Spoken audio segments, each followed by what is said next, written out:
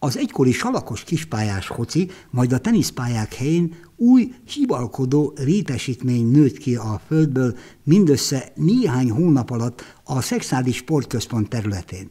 Ez már az új, modern szexádi jégcsarnok lesz, ami a korcsolyasportot és a jégkorong sportágat is egészen más perspektívába helyezi, mint a sátras korszakban volt.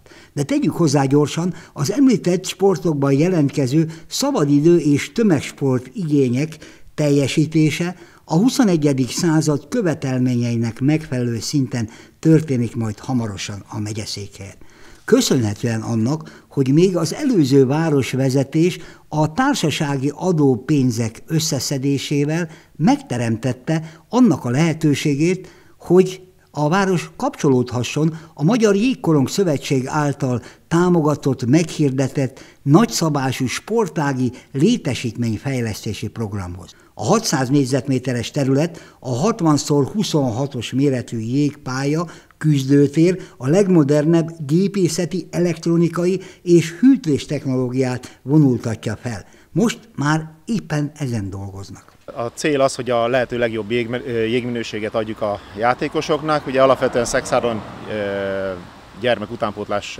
képzés zajlik, de igen, hosszú távon az is cél, hogy ha más nem egy junior válogatott mérkőzést is vendégül tudjunk látni, akár felkészülési, akár versenyidőszakban is. A fő kivitelező összehangolt csapatmunkájának köszönhetően azt ígérheti, ha nem jön közbe semmi rajtuk kívülálló dolog a belső, olykor speciális szakipari munkáknál, szeptember végére elkészülnek, és már októberben át is adhatják a városnak a hozzávetőlegesen 400 milliós sportlétesítményt.